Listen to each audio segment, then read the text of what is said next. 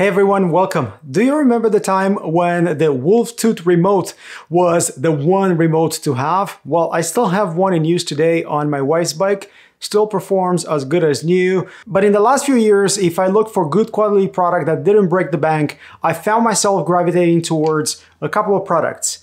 The ones produced by my fellow Canadians at OneUp, and also the guys at PNW. But when it comes to dropper post remotes, these guys at PNW give us more options. What I have for you folks today is version 2 of their Loam dropper remote, version 1, and this little gem that I think you're gonna like.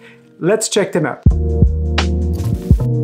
And I did say more options from PNW because if you look at their website, you're gonna find a one by lever, you're gonna find a two by lever, and even drop bar levers for those fancy gravel rides with the dropper post. This Loam lever version 2 is right next to the version 1 on their site. How are they different? We're looking at the redesigned box. This new one is smaller with bigger branding on it. Old one had a sleeve and here on the back, you're gonna see the details.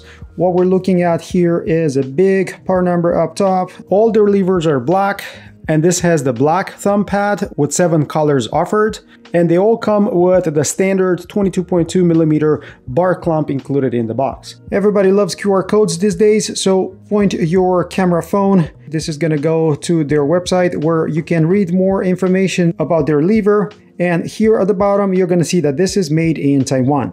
Version 1 launched in 2018 has a thank you card. Version 2 in 2022 has a thank you card as well. And you also have another QR code. Scan that one to get to the downloads where you're gonna find the actual manual. I love the fact that they use recycled cardboard and you see version 2 coming with this bar clamp with the screw already attached. The older one had the bar clamp and the actual bolt separate, but it does the same thing.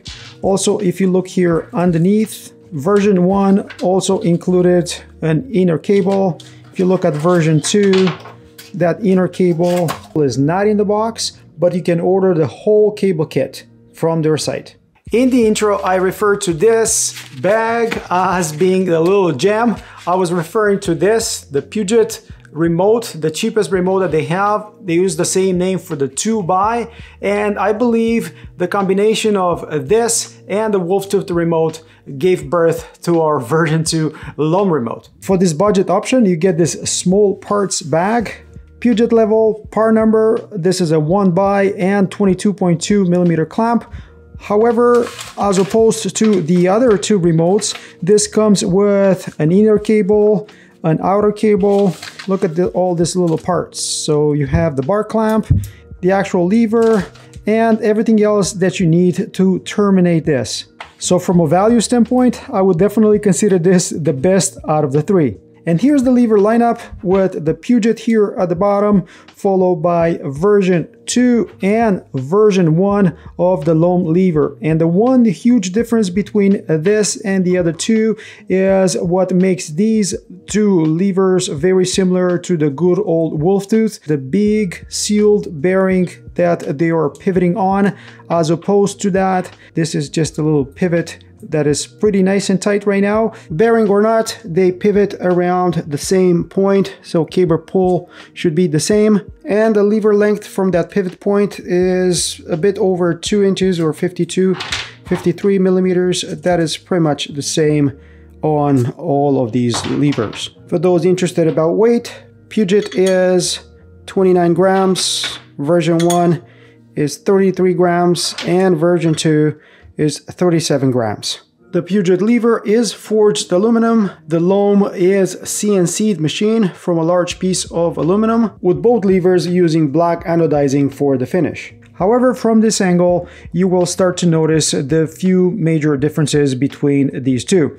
First of all, the version 2 has three attachment points here and that gives you more installation flexibility.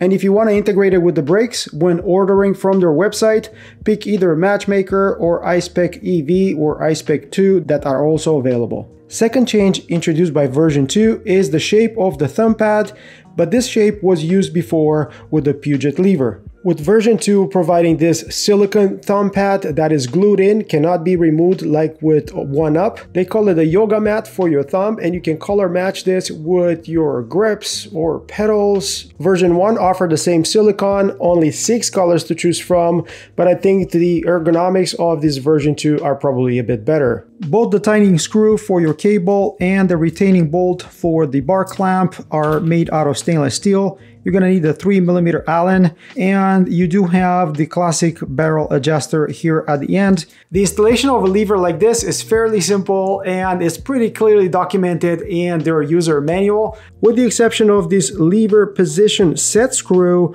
that they only talk about in the marketing materials. This already has Loctite on it.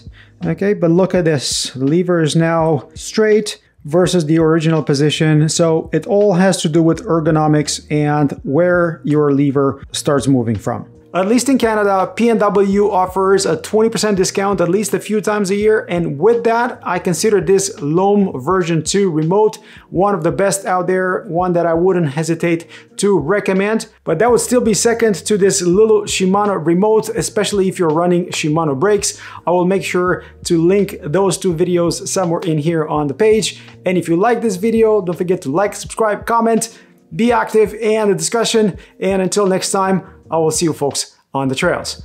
Cheers, guys. Cheers.